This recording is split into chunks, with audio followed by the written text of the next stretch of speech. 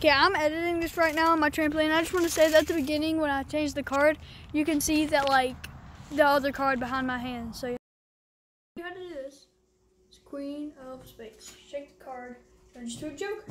Funny, because it's a joke. Okay, so here's the tutorial three, two, one. Okay, how to do this is first off, you need two cards. It's the first thing you need to know. Two cards, right? I'm not perfect at this, by the way. I can't do most things, but um, let's see. So you're gonna take two cards, whichever card you want to have. You want to have in the front. So if you want, if like, you can use this as a trick, and you you could just be like, you'd be like, was this your card? And they're like, no. We're like, is it now? Or something like that. So the card you want them to see first would would go there in front, and then you put the other card on the back. On the back. What's up, mom? Shout out to my mom, she's awesome.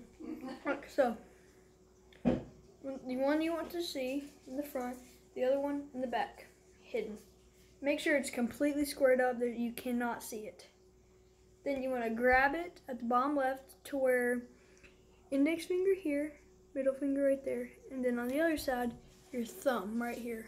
And you want to grip tight, like mostly right here, but still with your middle finger a little you make sure the whole time this is perfect. So it just looks like one card, but when there's really two. So, once you have this, you want to just, you can show them the card. What you would uh, do is you would kind of like release pressure with your index finger, bring down with your middle finger, and grab this with your index finger. And the whole time your thumb's just sitting there, just sitting there doing nothing but sitting there. I mean, just like literally your thumb doesn't do nothing. It just sits there and holds the cards. So you just go like this. And when you do that, you want to barely lift off here, bring down and catch the second card, bring this in and hold this out like that. And that brings out this card. And I'll show you how you can't see it. You can't see the other card, but it's right here. So what it looks like from this angle would be, I'm gonna try to get this good. It would be like this, bring it back behind, boom, just like this. And they can't see it because this card is in front of it and then your hand. So, yeah, you just do this.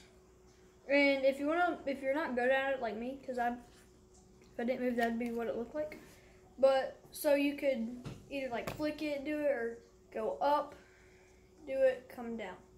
So they won't see it most likely. Most likely.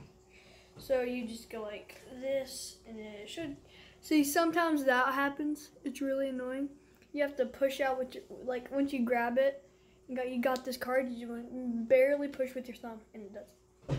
So yeah, it should do that. This is the card behind. Two cards. Can't do it with one card. And another way is just holding it with like, cause your your middle finger's here, and you do this, and your middle finger's not there. If they notice that, they'll know how and all that. But a cooler way to do it is where you like this. Then when you do it, you want to bring this in.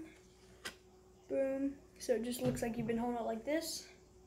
It just does it because they your middle finger won't be there in the first place. So instead of doing it like this. So yeah, that's how you do a cool trick, kind of a card trick, because it's not like, see the corner pokes out? I don't have it perfect, but I mean, mm -hmm. so yeah, that's how you do a cool card trick kind of thingy majigger. So yeah, thanks for watching. Hope you guys liked the video. Like and subscribe.